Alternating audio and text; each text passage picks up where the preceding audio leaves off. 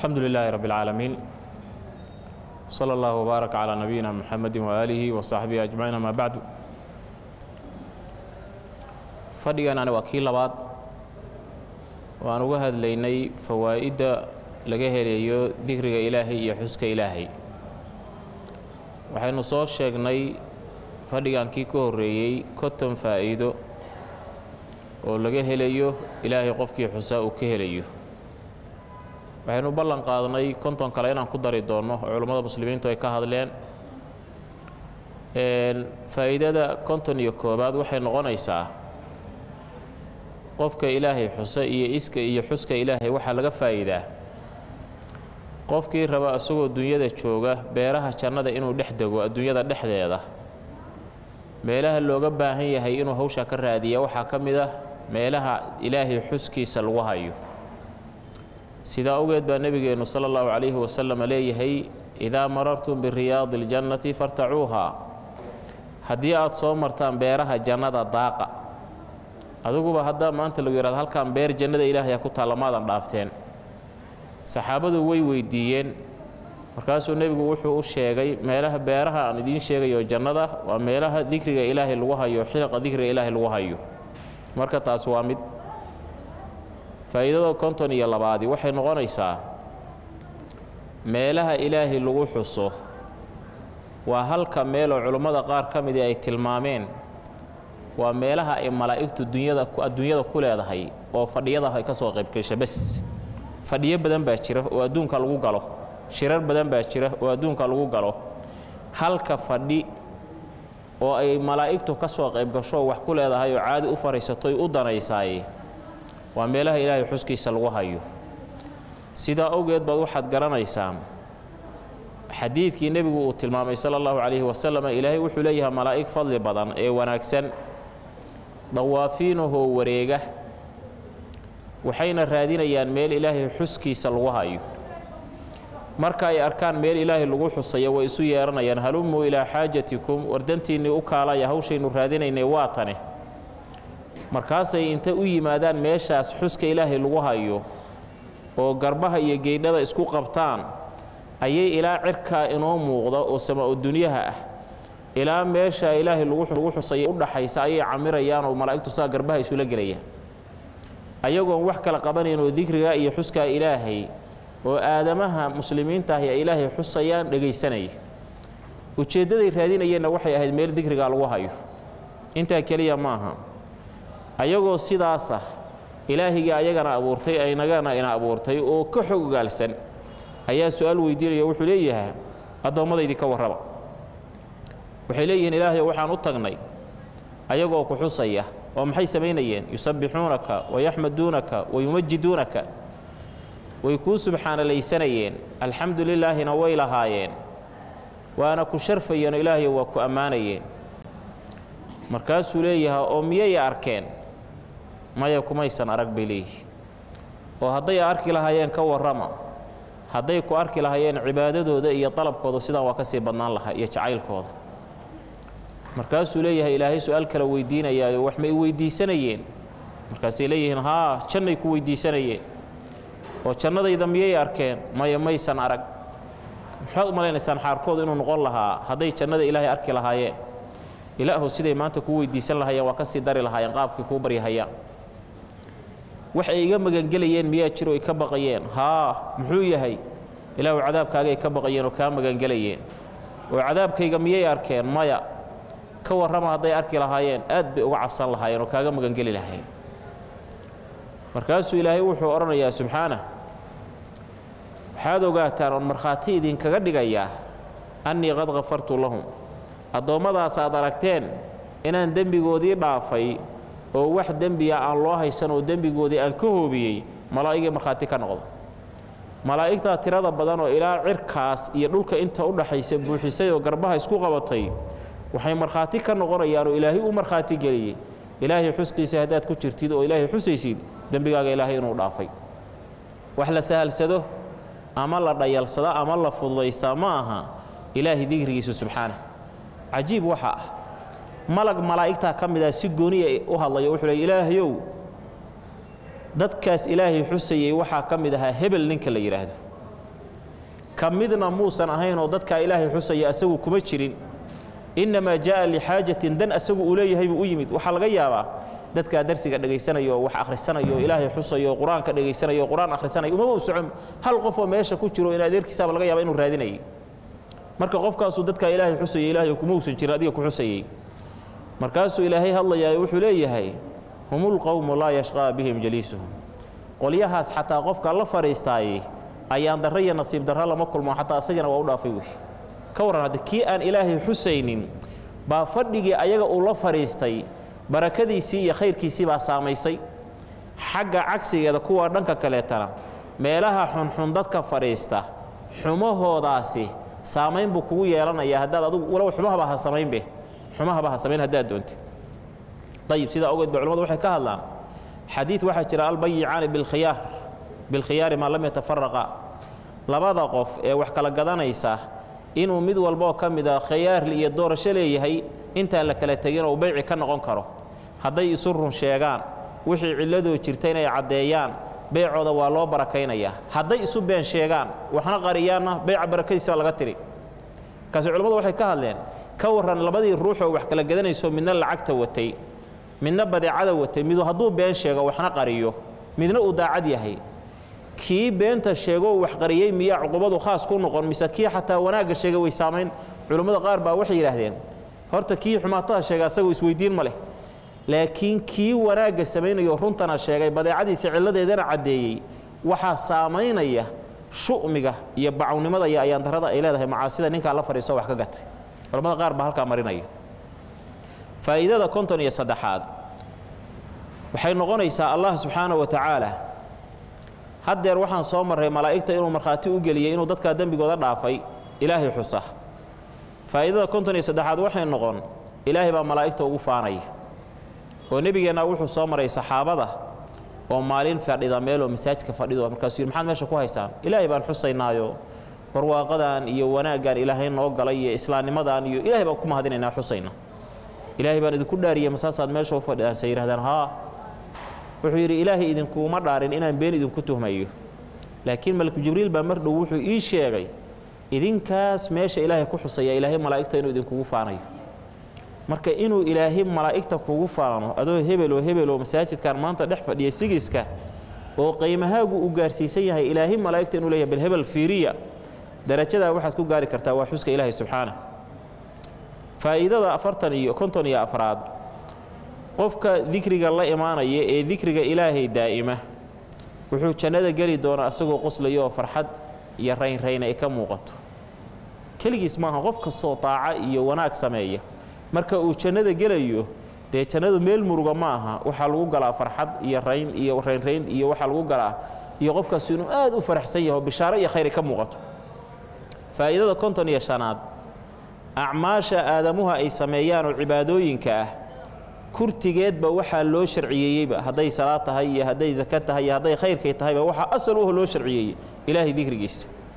Sidaa awgeed baad arkaysaa qur'aankii odhanaya waaqimi salaata lidikri salaadayda oog oog salaadda aniga xuskayga dartiisana u oog. Oo culimmada qaar baa waxay leeyihiin ee salaaddii markii laga soo warramoo la yidhi salaaddu waxay reebtaa xumaatada ayaa ilaahay wuxuu yidhi waladikrullaahi akbar. Xuska ilaahay baa wax walba ka weyn. Oo waxay culimmadu leeyihiin salaadda tukashadeeda laba ujeeddoo waa weyn baa ku dhex jirta. Mideed waxa middood waxaa weeye salaaddu inay kaa reebto xumaatada. Middoodna waxa weeye waa dikriga ilaahay. Dikrigaa ilaahay baa ka weyn marka salaaddu xumaatada ay kaa reebayso marka salaadiiba waxaa loo sharciyeeyeyba lidikri baa lagu leeyahay. Waaqimi salaata lidikri. Ayib taasina marka waa faa'iido waa faa'iidada konton iyo shanaad. Faa'iidada konton iyo lixaadi waxay noqonaysaa oo ibnuqayim uu sheegay raxmatullaahi calayhi tii hore waxay ahayd konton iyo afar dabcan. Konton iyo afar faa'iidada konton iyo afraad bay ahayd. Konton iyo afraad. Konton iyo shanna waa sheegnay sax. Konton iyo shanna waa sheegnay konton iyo lix waxay noqonaysaa. Qolo walboo cibaado caan ku ah. Dadku markay cibaadaysanayaan muslimiinta ah. Qoloba waxbaa ilaahay u fududeeya. Qof baa waxaa laga yaabaa inuu aad ugu fudud yahay inuu qur'aanka ku cibaadaysto oo qur'aanka akhristo. Qof baa laga yaabaa inuu aad ugu fududdahay sunanka inuu daa'imo. Maalan sunanka sunnooyinka rawaatibta ah tusaale ahaan khamiista iyo isniinta soonkooda. Qof baa laga yaabaa salaatuleylku inuu u fudud yahay qof baa laga yaabaa inay u fududahay waxa weeyaan sadaqada.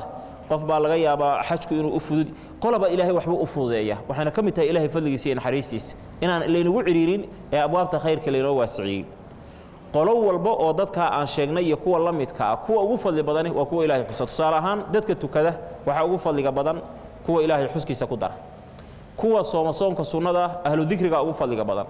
Kuwa wax sadaqaysta ahlu ugu fadliga badan kuwa soonka sooma ahlu dikriga ugu fadliga badan. Kuwa jihaadka aada ahlu dikriga ugu fadliga badan iyo kuwa ilaahay xusa subxaana wa tacaala.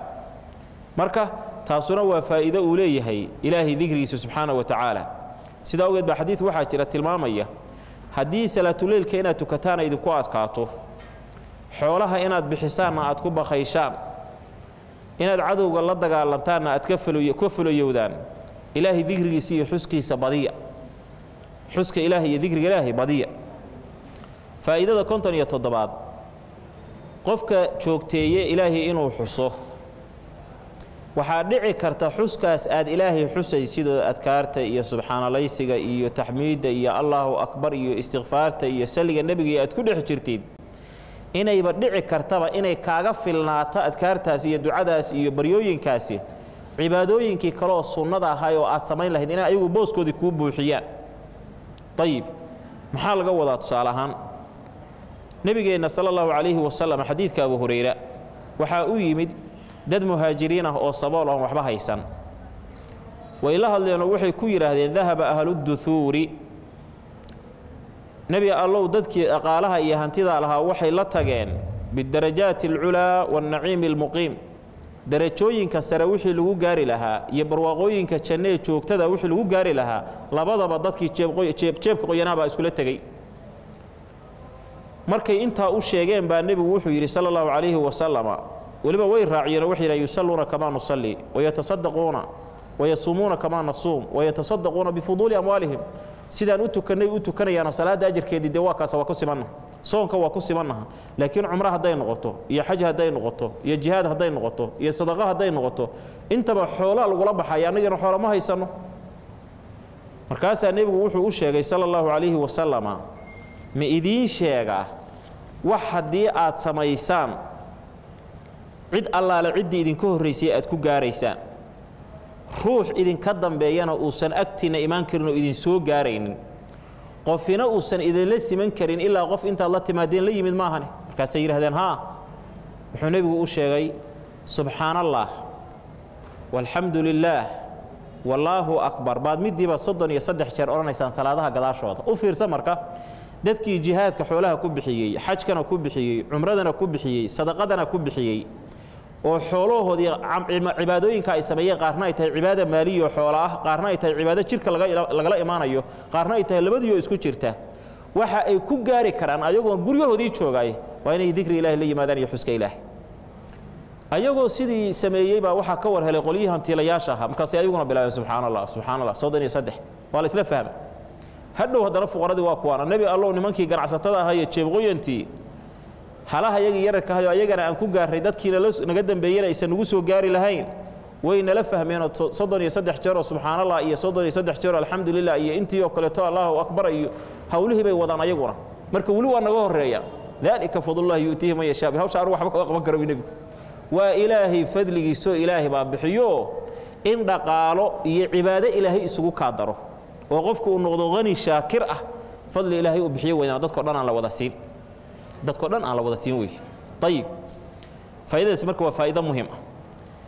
Faa'iidada konton iyo siddeedaad waxay noqonaysaa dikriga ilaahay subxaanaه wa tacaala waa waxa ugu weyn oo qofka ugu kaalmayn kara inuu qofkaasu ilaahay cibaaday caabudo oo ilaahay ku xirnaado. Macnaheedu waxaa weeye dikriga ilaahay waxaa laga yaabaa maalmaha horeeto xoogaa nafta iyo tarbiyadeeda inay kugu adkaato laakiin marka dambe waxay kuu noqonaysaa wax caadi ah oo aadan dayn karin. Dadkaan aad arkaysaanoo ku maman oo ku aafaysan fadhi kudirirka iyo makhaayadaha oo laga yaabo saddex saaco kawa inuu makhaayad ku fadhi ku dirirayo. Waxaa laga yaabaa inay soo martay marxaladihiisa iyo waqtiyaashiisa xilli ka mid ah inuusan awoodi karin uusan rabin inuu hal daqiiqo fadhiyo. Balwad waxay u noqoto uu iskala qabsaday si uu ka jaranayo adag tahay. Waxaa laga yaabaa cabitaanada ama cuntooyinka qola qayb baad si gooniya u jecesha waxaa laga yaabaa kuwa kaleeto cuntooyinka inaysan ka faa'iida badnayn. Laakiin balwad bay kuu noqoto nafti baa la qabsato muddaad soo isticmaalaysa ka tegitaankeeduna way kugu adkaanaysaa sidaasoo kaleeta haddii naftaada aad ku tarbiyeysay dikriga ilaahay waxaad intaad la qabsatid culays ba kugu noqon maaya marka dambeeto carabkaa la qabsan wuu u laylisamaya gacmahaa la qabsan way u dabcahayaan jirkaaga iyo maskaxdaada iyo qalbigaagaa la qabsan. Marka cibaadooyinkii kaleetana waxay arrinkaas fuudaynaysaa inuu dikrigu kuu noqdo wax kugu kaalmaya arrinkaas faa'iidada konton iyo sagaalaad waxay noqonaysaa culays kastoo ku haysta murug kastoo ku haysata tiiraanye iyo walbar iyo walbahaar iyo walwal iyo dhib kastoo aad dareemaysid.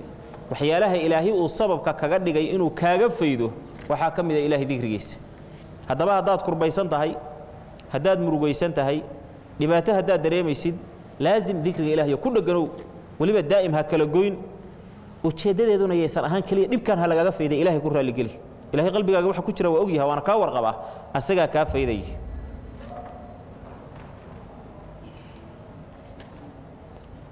ayib faa'iidada lixdanaadi waxaa weeye qalbiga aadamuhu wuxuu dareemayaa cabsi mar walbeeta.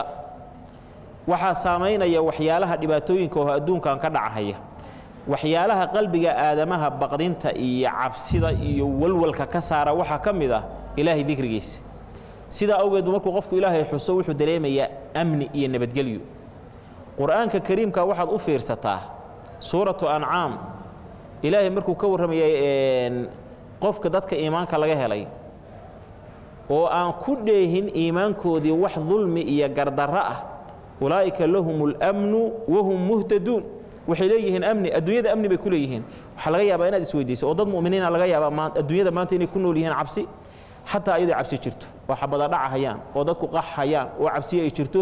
Ayaa dadna waxaa laga yaabaa cabsidan caadiga ahu dareemaya inay u weheliso walwal kale iyo cabsi kale. Midna inuu xabadda un ka leexda ma ahane iyo qaraxa meesha ka dhacay dhibaatadaase qalbiyan wuxuu dareemayaa qanaaco amniyan buu wuxuu u dareemaya qalbigu wuxuu ka dareemaya nabadgelyo ka dareemaya waxaa keenayana waa dikriga ilaahi subxaana wa tacaala iyo xuska ilaah ilahi baa ugu kaalmaynaya marka. Faa'iidada konton iyo lixdan lixdan iyo koobaad ilaahay dikrigiisu wuxuu qofka siinayaa awood hadduusan dikriga ilaahay la imaan uusan heleen. Awood jismiyan oo caadi ah oo quwo caadi oo maadi ah iyo mid qalbi oo ilaahay cibaadada uu awood ku siiya labadaba ilahay uu ku siinaya sida awgeed baan horey u tilmaannay mararka qaarkood waxaad arkaysaa qof caato badan oo tabar daran oo laga yaabo xataa naafe inuu yahay oo intaasoo xanuun qaba baad arkaysaa wakhti dheer isagoo cibaadaysanaya taraawiixdu masaajidka inta ku xirto imaamka waxaa laga yaaba intaasoo ragcadood ama koob iyo labaatan ragcadood ama saddex iyo labaatan ragcadood ama koob iyo toban ragcadood inuu la tukado. Mid caafimaadkiisa iyo xooggiisa xidid xanuun aan qabinna waxaa laga yaabaa laba ragcadood sunna hadduu tukado hamhamsi iyo halaaqo habda lug inuu ku istaago sakraad bannaanka markuu u baxna laba saac bannaanka wuxuu u taagnaanayaa sheeko iyo hasaawo. Yaa kanna awooddan u siiyey cibaadada.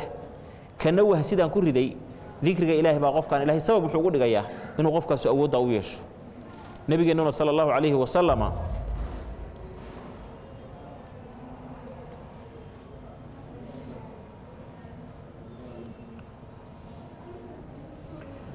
nebigeenna sala allahu calayhi wasalama waxaa gurigiisa yimid faatima oo nebigu uu dhalay. Markaasay waxay weyddiisatay nebiga calayhi salaatu wasalaam isagoo maqanintay timid nebiyullaahi moxamedow oo aabbaheed hadde. Gurigii awooddiisi gurigii baan awoodi la ahaa shaqadiisii waxaan u baahanahay shaqaale inaad isiiso addoommadaa la soo qabanayo qof ii ka mid oo ii shaqeeya oo shaqada iga xigsada inaad wax iga siisa addoommada. Markaasaa nebigu inta soo tegey cali iyo faatimo gurigoodii ugu yimid buu labadooda kala dhex fadhiista waa gabadhiisii iyo caliyo ina adeerkii laxmi ah oo gabadhiisa qaba. Labadoodii buu kala dhex fadhiista wuxuu u sheegay inay farriintu soo gaartay inay shaqaalo rabaan. Wuxuu laakiin nebigu u soo bandhigay ma idin tusiyaa wax idinka khayr badan qof idiin shaqeeya. Markaasaa la yidhi nebi moxamedow noo sheeg markaasuu nebigu yidhi markaad gogasha timaadaan ood seexanaysaan soddon iyo saddex jeer subxaana allaahi dhahaya soddon iyo saddex jeerra alxamdu lilaahi dhahaya soddon iyo saddex jeerra allaahu akbar dhahaya maaqa wey sagaashan iyo sagaal soo maa ogow sariirtaadii baad dul jiiftaa. Hurdaad isu diyaarisay. Sidaasna ku seexo. Wuxuu nebigu u tilmaamay ku gebagabeeye innahu khayru lakumaa min khaadimin. Intaa sagaal iyo sagaashanka ahood sariirta dusheeda iyo gogashaada iyo gurigaaga ku akhriday baa qof gurigaaga kaaga shaqeeya shaqaalaha idinka khayr badan bi waxay culimmadu isweydiiyaan see iga khayr badanta waxay kaaga khayr badan tahaa subxaana allah alxamdu lilah waa cibaado. Ajarka iyo hawaabka lagaaga qora intaad nooshahayna wuu kuu socon. Qabriga intaad ku jirtidna wuu kuu socon. Qiyaamadana jannadaad ku gelaysaa weligiina wuu jiraya laakiin shaqaale imisaad wada joogi kartaa. Cimrigaaga haddii la yihahdo ha kuu shaqeeyo wuu gaboobi. Ama adaa ka gaboobina ka dhiman marka khayrkan baaqiga kuu ahaanaya iyo waxaan dhammaanaya marka la isbarbar dhigo horta tanaa khayr badan. Kow subxaan allahida waa midda labaade wuxuu nebigu ugu hanuuniyey inay adkaarta akhristaan bay culummadu tilmaamaan. Adkaartan subxaanalaysiga iyo alxamdu lilah iyo allaahu akbar baa waxay wadataa sir ah. Ilaahi inuu adiga laftirkaaga awood jirka kuu geliyo aadba kaga kaaftoomaysidba shaqaale. Marhaba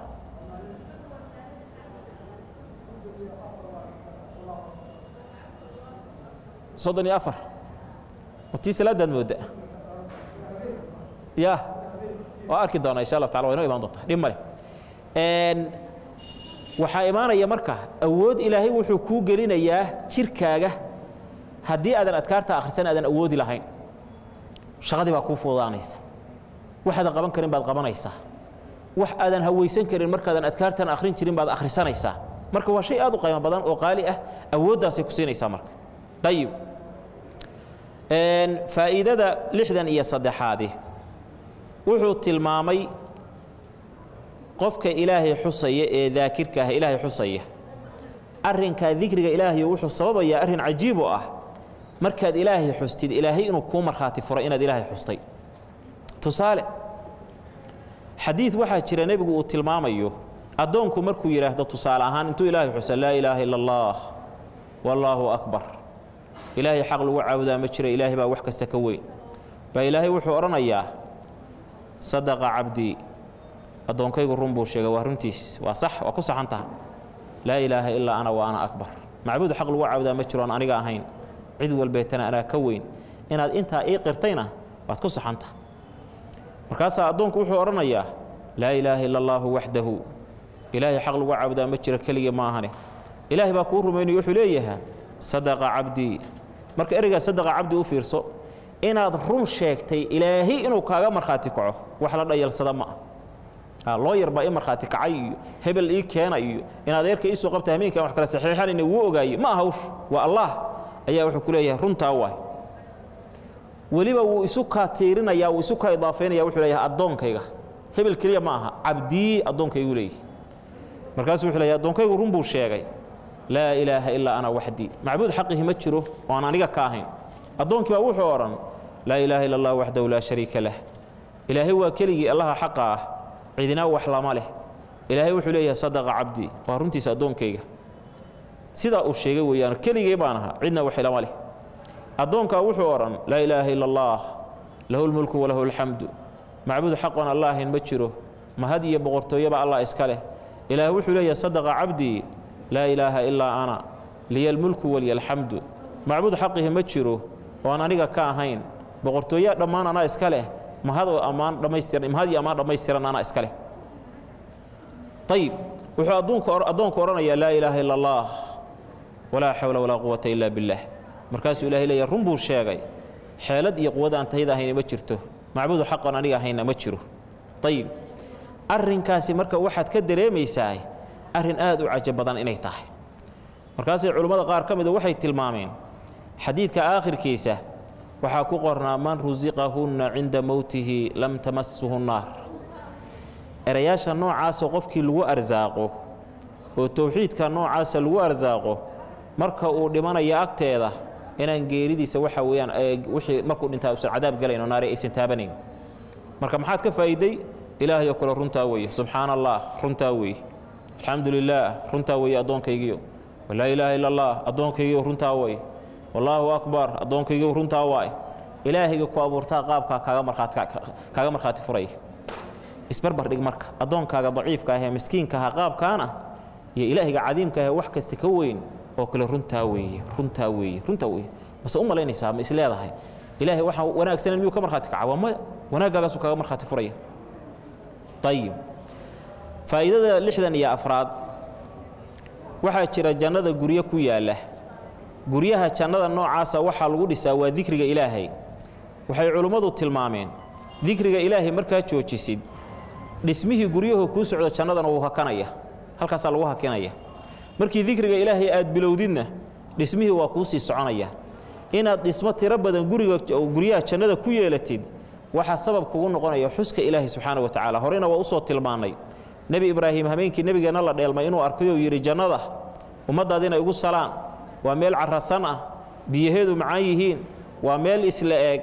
Waxa lagu tallaalaana oo tallaalkeedu yaho lagu galaa. Subxaana allah alxamdu lilaah wallaahu akbar wey. Marka hawl sahlan ma ayib jannadaas marka waa in la badsado geedaha lagu beeranayo iyo guryaha lagu dhisanahayo waxaasuna waxa weeye waa subxaana allah iyo alxamdulilah iyo dikrigaas. Faa'iidada lixdan iyo shanaad ilaahay dikrigiisu wuxuu sababayaa adiga iyo cadaabka ilaahay inuu idiin kala noqdo derbi. Cadaabka ilaahay oo aad geli lahayd buu kaa teedayaayoo kaa xirayaa. Adiga jahannama is arki maysaan insha allahu tacaala meelay kaaga soo gudubta heli mayso. Faa'iidada lixdan iyo waxa weeye lixaad malaa'igta ilaahay baa dembi dhaaf kuu dalbaysa. Sida qofka toobad keenoo ilaahay u toobad keenayba malaa'igtu ilaahu dembigiisa u dhaaf ay u leedahay midka daakirka ahoo ilaahay xusayana malaa'igtu way u ducayn suurayso marka imise malag baad isleeda way kuu ducaynayaan haddaad ilaahay xusaysi. Ilaahu hebel dembigiisa dhaaf. Bal waxaa cajiiba culammada qaarkood ay ka hadlaan mu'minka wanaagsan ee ummadda nebi maxamed ama bani aadamka ah iyo malaa'igta keebaa fadli badan. Waxay culammada qaarkood tilmaamaan malaa'igta waxaa ka fiican qofka wanaagsan ee aadamaha ah. See kaga fiican yahay. Haddaad masaajka inta soo gashid ku sunaysatid ama salaad ku tukatay ama casarkii meeshaad ku tukatay aad fadhiisatay ood adoon weysadu kaa jabin dadna dhib u geysan meesha isaga ducaysanaysid oo ku wardinaysid intaad meeshaa fadhida malaa'ig baa waxay kula dul tahay duco ilaahu dembigiisa dhaaf ilaahu u naxariiso ilaahu wanaagsii intaa qof marka isagoo dantiisii asaga u khaaska ahayd ku mashquulsan asaga loo ducaynayo duca lala durtaagan yaho loo shaqaynaya asaga. Iyo qofka kuu shaqaynaya shaqaalaha iyo qofka loo shaqeeya kee fadli badan innaga agteena. Waxaan agteenna qaymo badan qofka loo shaqeeya soo maaha. Boos baa la yidhahda arta kuwa dalaalimo lagu dul wadaaba qorrax yar hadday timaado boos u soo anaa dala mid waxaad arkaysaa asagii xataa waxba dalaalo dalaaleyn madax saaran mahay dallad boosku laakiin u saarahaya. Wuu u shaqaynaya wuxuu u arkaa inuu ka fiican yahay oo ka fadli badan yahayo. Waa kaasa. Marka malaa'igtii aday kugu mashquulsan tahay inay kuu ducayso ilaahu dembigiisa dhaaf. Ilahu adna waa iska wardiinaysa halkaasa iska fadhidaaba. Ayib marka way kuu ducayn malaa'igtu. Waxaa cajiib ah oo faa'iidada lixdan iyo toddobaad ay tahay. Buuraha ilaahay iyo meelaha ay rango-akaan iyo waxyaalaha noocaas oo kaleeto ilaahay dikrigiisa aad la imaanaysid meelaha noocaas oo kale wayba ku farxayaanba. Meshaasaad iska maraysaa duurkaagaad iska lugayn derbiyadaasaad ag maraysaa dhul cidlaahaad maraysaa midkaa la joogaad maraysaa ilaahay baad xusaysaa. Meel kastood marayso ilahay ku xusaysa waa kugu farxaya. Sidaa awgeed baad xasuusataa nebigeenna. Maalin wuxuu yidhi mustariixun wa mustaraaxun minhu inta jalase la soo mariyey. Saali maxaad ka wadaa nebi maxamedow? Wuxuu yidhi dadku markay dhintaan waa labo. Qof dhibkiisa laga raysto oo ay ka raystaan addoommada ilaahay iyo bahaa'imta iyo mayeeraanka iyo xoolaha iyo dhulka iyo geeduhuba. Waa qofka xun. Iyo qof asagu dhibkii dadka ka raysta oo janno ilaahay hore ka gala. Dhibaatadii adduunyuba ka raysanayaaba. Marka macnaheedu waa maxay? Qofka mu'minka ah oo cibaadooyinka iyo khayraadka samaynayey meelaha uu ku samaynaya dhirtaa ku farxaysa xataa iyo geedaha. Faa'iidada lixdan iyo siddeedaad ilaahay dikrigiisa oo la badiyo oo weliba aad loo badiyo wuxuu aamin ka noqonayaa oo ay ku tusinaysaa qofkaas inuu beri ka yahay munaafaqnimo. Sababtu waxa weeye munaafiqiintu dikriga ilaahay ma badiyaan. Walaa yadkuruuna allaaha ilaa qaliilan wax yar bay ilaahay xusaan. Laakiin qof ilaahay dikrigiisa badinaya oo badinaya oo badinaya haddaad aragtid wax un ku xambaaray baa jiro oo qalbigiisa ku jiro iimaan ahoo nifaaqa waa ka fogyi sida awgeed baa qur'aanka waxaad arkaysaa yaa ayuha aladiina aamanuu laa tulhikum amwaalukum walaa awlaadukum can dikri illaahi suurat lmunaafiqiin bay ku jirtaa. Xoolihiinna iyo carruurtiinnu yayna dikriga ilaahay idinka mashquulin. Sabab munaafiqiintay ka mashquulisay. Laakiin idinku munaafiqiintii oo kale ha noqonina. Munaafiqiintii oo kale ha noqonina. Faa'iidada lixdan iyo sagaalaad.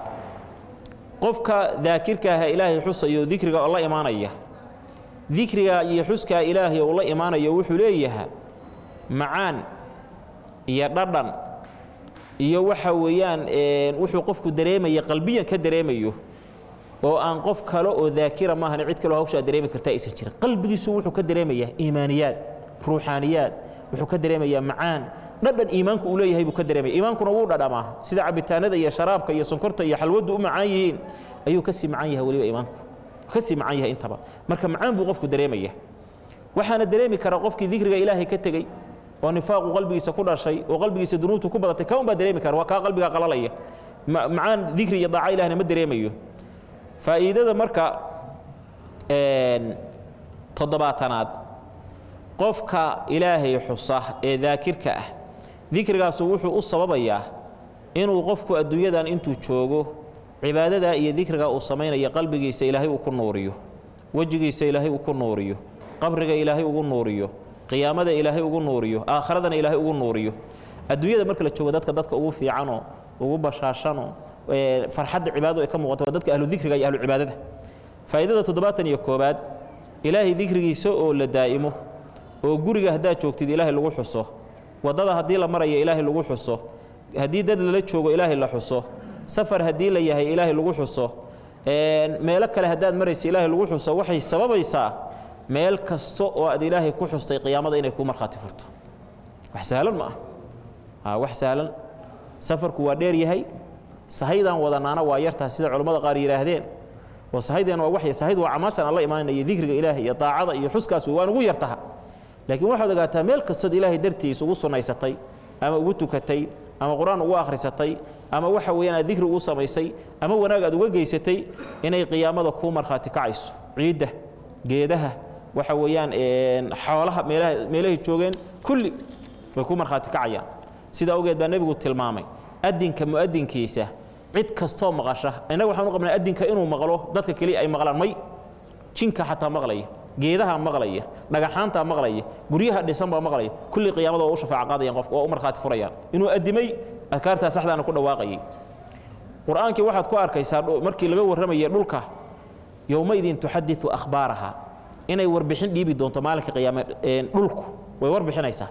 Aday kaa warbixin warkay kaa bixinaysa hadduu dikri ilaah yahay soo khayr ma ah oo intaasoo sano aad nairobi joogto masaajiddaa ku tukanaysaye mar walbeeta iyo masaajid walbeeta maalinka qiyama uu kuu markhaati kaco ilahu hebel anaa markhaati uga ah.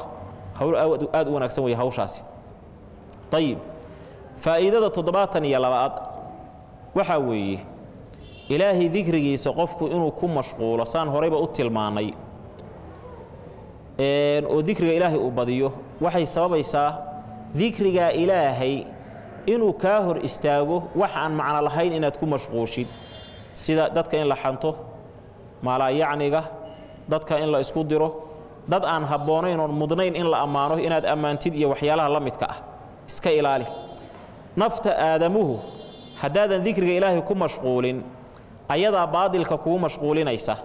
Qalbigaaga jacaylka ilaahay hadduusan ku weyneyn iyo cadamadiisa iyo weynankiisa cid kaleetoo makhluuqa qalbiga kaa degaysaoo ku weynaanaysa oo kaa degaysa. Carabkaaga dikriga haddaadan ku mashquulin baadil iyo xumaato ayuu kugu mashquulinayaa. Naftaada haddaadan khayrka ku mashquulin meel daran bay kuu horseedin. Haddaba kala dooro meeshaad naftaada niyadaada iyo carabkaaga iyo qalbigaaga ku mashquulinaysid. Habda meeshaad ku mashquulisid baad u badanaysaa. Ayib taasina marka waa faa'iido. Waxaa ka mid ah faa'iidada toddobaatan iyo afraad. Dikrigu qofka uu la imaanayo iyo xuska ilaahay iimaanka waxay ziyaadinaysaa qofka u ziyaadinaysaa macnaha dikriga qofka uu la imaanayo dikrigaasaa wuxuu u ziyaadinayaa qofka iimaankiisa. Dikrigu waa cibaado. Cibaadada iyo daacaduna iimaanka waa ziyaadisaa. Macaasiduna iimaanka waa nusqaamisaa. Haddaba haddaad rabtid iimaankaagu inuu kobco oo kor u qaadmo oo meel fiican aad gaartid oo daacadu ku macaanaato ilaahay dikrigiisa badi. Waa faa'iidada konton iyo shanaade ilaahay xuskiisu wuxuu sababayaa cubuudiyadii iyo addoonnimadii ilaahay uu kuu abuurtay inaad hirgelisid oo aad fulisid leanna waxay ka mid tahay dikrigu ilahay waxyaaluhu ku abuurtay inaad isaga xustid oo caabudid tiibaad hirgelinaysaa marka dhammaystiraysa. Faa'iidada toddobaatan iyo lixaad wuxuu qofku qalbiga ka helayaa daakirkaaha ilaahay xusa tuma'niino iyo xasillooni aysan dadka kala haysan. Asagoo dib jiray hamuuman oo kala saaka aan waxba haysan maantana qatan oo laga yaabo inuusan maanta ita hargelinba uusan waxba haysan baa waxaa laga yaabaa farxadda iyo bashaashnimada iyo waxa ka muuqda ad yaabaysa mid laga yaabo meel walba inay hanti iyo dhaqaalo uga buuxdana walwal iyo tiraanyo uu dareemayo labada qof maxaa kala geeye kanaaba nolol fiicane kanuu wuxuu ku xihan yahay ilaahiga wax walba gacantiisa ay ku jiraan. Ilahay baa qalbigiisa farxad geliyey markaas. Faa'iidada toddobaatan iyo toddobaad. Dikriga ilaahay subxaanahu wa tacaala wuxuu kugu kaalmaynayaa inuu qalbigaagu noqdo iyo noloshaada adduunyadu xayaato dayibaahee wanaagsan. Qofkii camal suuba la yimaada asagoo mu'mina falanuxyinahu xayaatan dayiba dikriguna waxa weyaan camalka suuban buu ka mid yahay. Xayaato wanaagsan iyo nolol wanaagsan baad ku noolaanaysa markaad aan leenahay xayaato iyo nolol wanaagsan macnaheedu maaha dhaqaalo badan inaad haysatid nolosha wanaagsani waxa ugu wanaagsani waa inaad farxad iyo liibaan ku noolaatid ama wax yarow oo wax yar hayso ama wax badan hayso. Faa'iidada toddobaatan iyo siddeedaad dikriga ilaahay xanuunnadaa lagaga caafimaadaa haddaba qofkii raba inuu iscaafiyo oo isdaaweeyo waxyaalaha la isku daaweeye waxaa ka mid ah dikriga iyo xuska ilaahay baa ka mid ee badi baryadaa ka mida baryada laftirkeeda waxay ka mid tahay ilahay dikrigiisa ka mid ah faa'iidada toddobaatan iyo sagaalaad wuxuu kuu noqonayaa dikriga ilaahay. Mar waa kuu xirsixir marna waa kuu adkaar aad isku tufaysood isku akhrinaysid labadaba wuu kuu noqon. Faa'iidada sideedaad siddeetanaad cibaado walbeeta waxay leedahay xuduud bay leedahay. Cibaado walboo la samaynayo. Maalan casarkii wakhti buu leeyahay. Duhurku wakhti buu leeyahay. Soonku wakhti buu leeyahay laakiin dikriga ilahay wakhti ma leh. Habeenkii iyo maalinkii iyo galabkii iyo subxii iyo duhurkii iyo marar badan waxa weye adkaarta badankeeda xataa dahaaro looma shardiyo. Gabadha ayadoo dhiig qabta laga yaabaa dee waxa weyaan ama umul ah ee qofka isagoo janaabo qaba marar badan baa waxa weyan adkaartu nooc kale kugu fuudaanaysa marka xuduud ma leh.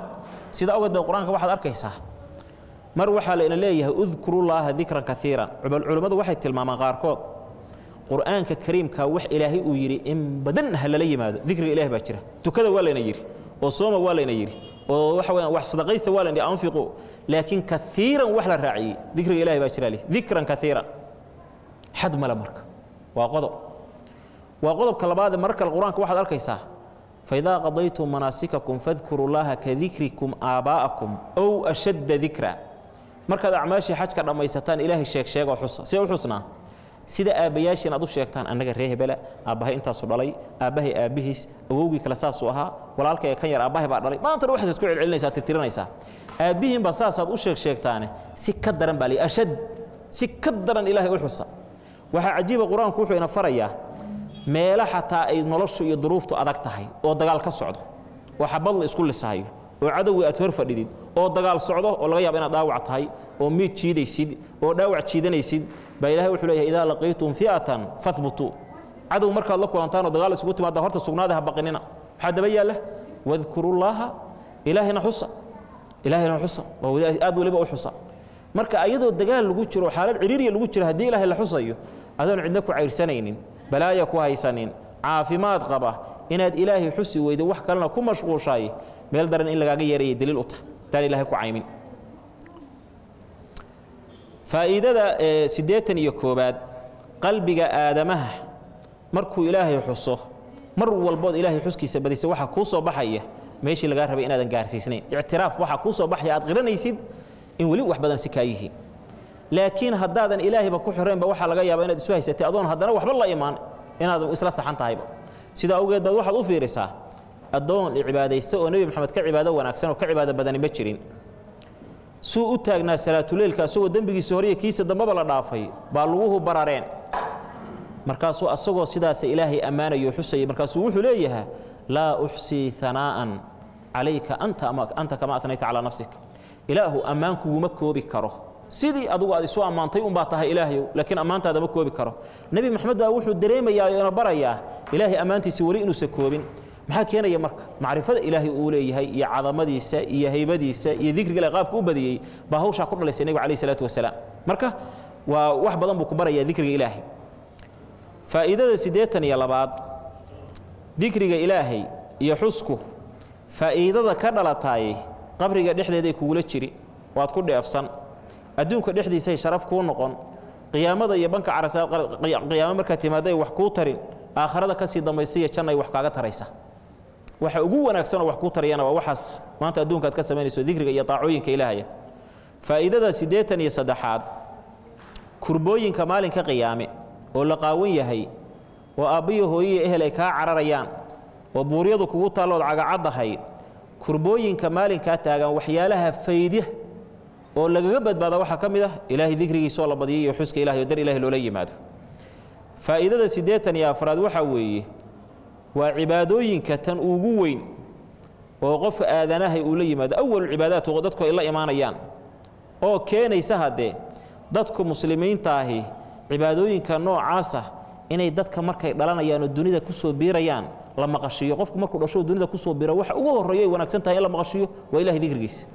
Soo midaan in la yidhahda lagu addimo ilmaha waxa ugu horreeya ilmihii ifka hadda ku soo biiray. Inkastoo culamada qayb ka mid a xadiiska dacfi ay ku sheegaan haddana culimo badan baa sugtay waxa ugu horreeya ifka markuu ku soo biiro dhegtiisu maqasho allaahu akbar.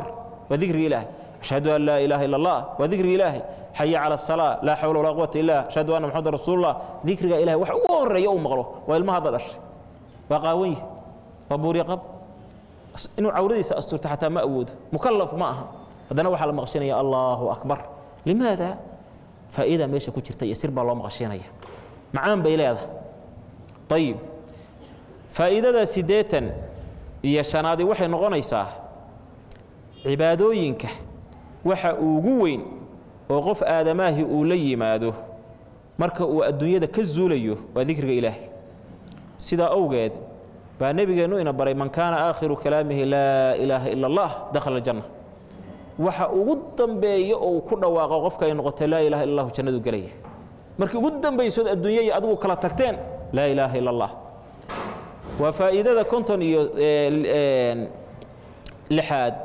Waxay noqonaysaa waa midda la ina faray oo dikriga ilahi waxaa ka mid ah in la ina yidhi xataa kii dhaminaya dikriga ilaahay u laqina. Laqinuu muutaakum bilaa ilaaha ila allah agtiisaan istaagaynaa laa ilaaha ila allah laa ilaaha ila allah laa ilaaha ila allah waa loo laqimaya waa dikriga ilaahay bal dikriga ilahay kuwa ugu weyn kan ugu weyn wey laa ilaha ila allah ayib culummadu waxay tilmaamaan qur'aanka iyo dikriga. Hadda dikriga laga wado midkan khaaska aho adkaarta iyo subxaanalaysiga iyo qur'aanka kee fadli badan? Qur'aanka fadli badan. Wax dikriga qur'aanka ka fadli badan ma jiro. Laakiin haddana saas ay tahay waxaad ogaataa dikrigaa ilaahay qur'aankaa ka fadli badan. Laakiin meelo waxaa jira qur'aankii iyo dikri inaad gelaysaa ay markaa ku habboon tahay inaad dikri gelaysa tusaalaan idin siin. Markaad rukuucsan tahay. Waxaan idhi qur'aanka wax ka fadli badan wala soo maha markaad rukuucsan tahay qur'aanka aayaadkiisa aayad kursidaa ugu fadliga badan. Waa soo mar hadda ka hora rukuucda inaad aayad kursi ku akhridid iyo subxaana rabbiya alcadiim inaad ku akhridid kee fadli badan? Subxaana rabbiya alcadiim baa ku fadli badan meeshaas. Sabab nebigaa inoo sharciyey sal alla alih wasalam rukuucdii baad ka soo toosta. Inaad samica allaahu liman xamidahu tiraahdid iyo inaad faatixadoo qur'aanka suuradda ugu fadli badanoo weligeed faatixa wax ka fadli badan ba ilaahay soo dejin. Samic allahu booskeedii gelisid. Kee fadli badan samic allahu liman xamidaa fadli badan. Meeshaasaa nebigu geliyey sal allahu alih wasalam macnaheeda ha u qaadanina. Ninkii maanta wuxuu yidhi faatixada waa laga fiicanya may wax ka fiican ma leh wax ka fadli badan ma leh. Laakiin boosku keedii ma aha. Bal rukuucdii iyo sujuuddii axaadiis baa ku soo aroortay qur'aan yaan lagu akhrin. Qur'aan yaan lagu akhrin. Ataxiyaad baad u fadhiisata suuratulbaqaraan akhrisanaya tira ataxiyaadka aniga maanta taasaa iga tusta. Suuratulbaqara waa suurad hadda qiimo badan waa qur'aanka ilaahay. Laakiin ataxiyaadka meeshaan kaga fadli badan baan leenahay salaaddii baad ka baxday assalaamu calaykum adkaartii soo aroortay inaad akhrisatid astakfirullah astakfirullah allahuma anta asalaam inaad adkaarta akhrisatid. Iyo inaad tiraa suuratu yaasiin baan akhrisanayaa adkaartan meesha ku aroortaa kuu fadli badan. Suuratu yaasiinna waa qur'aanka ilahay sideeday u fadli badantay laakiin adkaartan muqayadka ah waqtiya xillada gooniyaa leh waqtigaasay ku fiican tahay. Waqtiga ayay ku fiican tahay. Ayib marka faa'iidada siddeetan iyo iyo toddobaad waa cibaadooyinka wixii ugu horreeyo ilaahay uu waajibiyey oo waajib oo ina saaran. Leanna waxa ugu horreeya waajib inagaaso xaqa ilaahi ma aha. Laa ilaaha illa allah buu ka bilaabanaya iyo dikri ilahi buu ka bilaabanaya. Marka waajibaadka ina saaran waxa ugu horreeya waa dikriga ilaahay. Faa'iidada siddeetan iyo siddeedaad. Cibaadadaas dikrigaahi waxay keenaysaa maalinka qiyaame miisaankaaga xasanaadku inuu kuu cuslaado. Sidaa awgeed baad arkaysaa nebigeenoo leh sala allahu calayh wasalam kalimataani khafiifataani cala lisaan. Haqiilataani fi lmiisaan waa laba kelmadood oo carabka ku fudud miisaanka xasanaadkaana kuu cuslaynaya. Subxaana allahi baa ka mid bixamdihi subxana allahi alcadiim. Miisaanka xasanaadka wax kuu cuslaynaya qiyaamada waa u baahan taha marka. Faa'iidada siddeetan iyo sagaalaad dikriga ilaahay qofka la yimaado ahlu dikriga ah asxaabtiisa iyo bahdiisa markuu dhex joogo wuxuu dareemayaa qariibnimuu dareemaya. Waa maxay dadkii waa iska damaashaadayaan waa la kaftamayaa waa la isdacayadaynayaa waxa weeyaan siyaasaddaa la falanqaynahaya dadkaasuuna ku dhex jira. Asagiina maanta dhan waa istikfaaranaya laa ilaaha ila allah subxaana allah waxaa laga yaabaa inuusan helin khayrkan cid uu kaga daydo oo fiican inuusan helin. Wax ku dhiirigeliya inuusan helin. Bal dadka ku xeeran waxaa laga yaabaa inayba gadaal u sii ridayaanoo dibrib marka wuxuu ku jiraa waa qof qurbo ku jira qurbo. Waa qurbo joog caadi ah laakiin markay noqoto camalkiisii iyo kuwoodii in meel miisaan la soo saaro oo la isbarbar dhigo wuxuu noqonayaa nin aynigiis ka hormaray buu noqonaya waa ka tega ninkaasu aynigiis cidluu kaga dhaqaaji. Ka tegi sababtaa wax weyn buu la yimi. Ayib faa'iidada sagaashanaad. Waxay noqonaysaa dikriga ilaahay wuxuu sababaa in xataa roobka sabab uu noqdo inuu roobku yimaado dikri ilahay ood la timid caruurna aad ku heshay dikri ilaahay ood la timid. Beere iyo dhaqaale iyo xoolana ilaahay uu ku siiye dikri ilaahay ood la timid. Faqultu istakfiruu rabbakum innahu kaana ghafaara yursil الsamaa calaykum midraara wayumdidkum biamwaalin wabaniina wayajcal lakum jannaatin wayajcal lakum anhaar. Intaba maxaa lagu helayaa istikfaartii iyo dembi dhaaf dalabkii dikriga ilahay baa lagu helaa. Faa'iidada sagaashan iyo koobaad dikriga ilaahay cibaado jinsigeeda ah oo ayadu nooca ay tahay la wadaagi kartaa ma ay jirto. Sababtu waa maxay hadda dikriga ilaahay qur'aankii buu ka tirsan yahay. Qur'aankuna waxaa weeye waxaa qur'aanka xadiidka ku soo arooray kalaam aadama uu ku hadlo waxa ugu fadli badan afar eray. Haddeerba u fiirso wax aadanaa carabkiisa ka soo baxa afar eray baa ugu fadli badan. Maxay yihiin talow? Subxaana allah walxamdu lilaah walaa ilaaha ila allah wallaahu akbar. Qofaan aqoon laniguma arka inteenaas qof walba uu garanaya carabkaaga wax ka soo baxood ku hadaaqdid oo ku hadashid afartaasaa ugu fadli badan. Afartuba qur'aanka ka tirsan yahin qur'aanka allahu akbar waa ku jirtaa subxaana allahna waa ku jirtaa alxamdu lilahna waa ku jirtaa laa ilaaha ila allahuna qur'aanka waa ku jirtaa marka nooc wax la wadaagi karoo noocaasi kuma jiro. Faa'iidada sagaashan iyo labaad cibaadooyinka midda ugu dhowaansho badan weeye xagga ikhlaaska iyo daacadnimada dikriga ilaahay meel kastood maraysid iyo meel kastood joogtid. Xataa qalbigaad kala imaan kartaa waa inaga soo sheegnayo. Qofku markuu musqusha ku jiro ama reerkiisa u galmoonayo sideebuu ilaahay u xusin? Qalbigu ilaahay ka xusayayo cadamada ilaahay iyo kaxishoodka ilaahay uu ka xishoonayo taa laftirkeedaaba dikri ilaahay ah. Faa'iidada sagaashan iyo saddexaad waxay noqonaysaa laba asbaaboodoo waxaa jira ilaahay dadka cadaabka uu kaga hayo. Labadaa asbaabood mid ka midi waa dikriga ilaahay. Labadaa asbaabood maxay yihiin? Wamaa kaana allahu liyucadibahum wa fiihim nebi maxamed baa loo sheegay adoo nebi moxamedow dhex jooga ummaddan ilaahay halaagi maayo. Waa sabab marka nebi moxamed inuu ina dhex jooga keenaya inaan ilaahayna halaagin oo aan dhulku inala goyn. Qodobka balaad wamaa kaana allahu mucadibahum wahum yastakfiruun intay ilaahay dembi dhaaf weydiisanaya dembi dhaaf dalabku waa istikfaartiiyo waa dikriga ilaahay ayadana cadaab lagu soo dedejin maayo. Marka ummad istikfaaranaysa oo dikri ilaahay la imaanaysa oo xus la imaanaysa oo adkaartiiyo ducooyinka akhrisanaysa halaag ku imaan maayo. Faa'iidada sagaashan iyo afraad dikriga ilaahay qofka wuxuu ka xifdinayaa shayaadiinta iyo jinka. Kitaabka xisnu muslimka waxaan ku soo marray satru maa bayna acyunin waxa weeyaan jinni wa cawraati bani aadam. Cawrooyinka bani aadamka iyo indhaha jinka waxa asturka u noqdo kaa qarin kara inuu shaydaan ku fiiriyo. Markaad kaajaysid oo saxaroonaysid markaad qubaysanaysid inuu ku fiirfiiriyo waxa xijaabkaaga noqon kara bismi illaah gashay bismi ma ku arki karo ogow hadda muuse indhabeelay indhihii shaydaanku waa leeyahay. Xijaab baa laga saara ma arki jirti. Xijaab baa lagaa saaraya weli ilaahay baata isagoo ku ag jooguusan ku arkayn adoo qaawan adoo musqul fadhiya adoo xaajo gudanaya adoo reerkaaga la kulmaya. Marka qaabkaasaad kaga xirxiranta faa'iidada afartan iyo sagaashan iyo shanaad. Waa xirsixir markaad gurigaaga ka baxaysid. Shaydaanku kaa xirsixiraysaa dikriga ilaahay sidaa ogeed waa qofkii bismi llahi tawakaltu cala allahi walaa xawla walaa quwata illa billah yidhaahda. Kufiita wahudiita wawqiita la odhanhaya waa lagugu filnaada. Wixii sharood ka baqaysidna waa lagaa ilaaliye waana lagu hanuuniye. Shaydaankii shayaadiinta kale inta la hadlo wuxuu leeyahaa sidee inoogu soo toobi kartaa qofkaas inaynu baadiyeenno waa la hanuuniyey waa lagu filnaaday waa la ilaaliyey. Waddo aan ku baadiyeyn karna maba heli karna buu leeyahay marka. Asagiibaa waxaa ka muuqda meeshaa ninkii shaydaan la odhan jiray waa maan jabay waa bahdilmay inaad bahdishid adiguna cizo ku noolaatid dikriga ilahay baa kuu sababaya faa'iidada sagaashan iyo lixaad dikriga ilaahay wuxuu sababayaa inaad adigu ilaashanaatid oo ilaahay ku ilaaliyo. Xaaskaaguna ay ku ilaashanaato ilmahaaguna uu kuu ilaashamo intuba. Sida awgeed baa markuu ninku reerkiisa la kulmayo adkaartii loo sharciyeeyey oo bismillaahi iyo allahuma janibna shaydaana iyo adkaartii noocaasoo loo sharciyeeyey haddii ilaahay kulankoodaas ilmo ka beero shaydaanku ma dhibaya buu ilaahay yidhi ilmihiina shaydaan dhibi maayo. Dee meeshii aad bisinka ka qabsateenna shaydaan idiin imaan maayo. Marka adiga iyo ooridii iyo jannogashadii iyo ilmihii intuba waxa weeyaan waad barwaaqaysantihin waa xirsixiran tihiin faa'iidada sagaashan iyo toddobaad waxay noqonaysaa dikriga ilaahay dadka badiya oo ahlu dikriga loo yaqaano daakiriinta ah. Waa dadka ugu jecel inay ilaahay la kulmaan oo ilahay hor istaagaan sidaa ogeed baa nebigan wuxuu leeyahy man axabba liqaa'a allaahi axabba allaahu liqaa'ahu qofka jeclaysta ilaahay la kulankiisa inuu la kulmo. Muxuu ka jeclaysan karaa? Waa qof waxa ka horreeya u shaqaysta uu dareemi karo oo waa yeelwadkii woo yaqaanaa soomida kor waa yeelo wada indho waa dareemi kartaa. Habda meeshaad maraysa sidaa ogeed ba axaadiista qaar waxaa ku soo arooray. Qofkii raba ilaahay agtiisa qaymaha uu ka leeyahay inuu ogaado asagu ha fiiriyo ilaahay agtaada sidee buu ka yahay?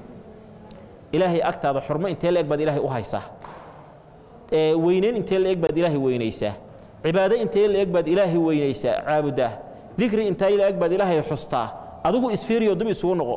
Kallaha oo caraaba oo ogaada waxa weeyaan dee jannada ilaahay waxa lagu galahaya waa dikrigaas ilaahay. Marka meeshii waxaa kaaga soo baxay dadka ahlu dikriga ahi ilahay la kulankiisa waa jecel yihiin. Faa'iidada sagaashan iyo sagaalaad dadka dikriga ilaahay la yimaada waa dadka ugu dhowaansho badan hadduu khalad ka dhaca inay ilahay u soo noqdaan والذين إذا فعلوا فاحشة أو ظلموا أنفسهم ذكروا الله فاستغفروا لذنوبهم markastoo khalad ka dhaco maaha qofka daakirka iyo ahlu dikrigu inaysan khaldan waa khaldamaan gaf waa ka dhacaa laakiin isla markaba ilahay bay u noqonayaan dunuubtii ay sameeyeen walam yusiruu calaa maa facaluu dembigiina kuma sii dhagaan madax adayg iyo qallafsanaan iyo ka toobad keeni mahaya iyo maxaa kaa galay iyo madaa la iisoo kaa diray iyo ma jirto isla markaba ilahay buu isu dhiibaya faa'iidada boqolaada ugu dambaysa qofka daakirka ah oo ilaahay xusaya oo ahlu dikriga ah dikrigii uu xusay oo uu la yimid iyo xuskii ilaahay baa qiyaamada waxaa loogu qorayaa diiwaan isagoo diiwaan u qoran baa loo dhiibayaa marka. Wax kaa dayacmaya ma leh. Badi inaad tirahda laa ilaaha illa allah subxaana allah alxamdu lilah allahu akbar laa xawla laa quwata illa billah astaqfir ullah diiwaan aad u ballaaran bay kugu qormayaan waxaasi. Weliba ilaahay fadligiisa waxaa ka mid ah intii aad ku hadashay keliya laguu qori mahaya waa laguu ziyaadinaya. Adcaaf baa lagaaga dhigaya waa laguu laalaabaya bifadlihi waraxmatihi wallahu aclam wsala allah calaa nabiyina muxamedin waaalihi wasaxbi ajmaciin